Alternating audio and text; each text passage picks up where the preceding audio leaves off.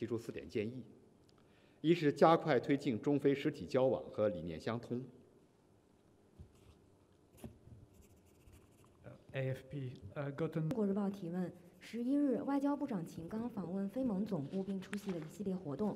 中方坚决反对一切暴力恐怖行径，对此事件予以强烈谴责，对遇难者表示哀悼，向伤者和遇难者家属表示慰问。据目前了解，没有中国公民在这次恐袭事件当中伤亡。希望阿方采取坚决有力措施，切实保护包括中方在内各国在阿人员和机构安全。我们注意到有关的报道。美日开展双边军事合作，应确保不损害第三方利益，不损害地区和平稳定。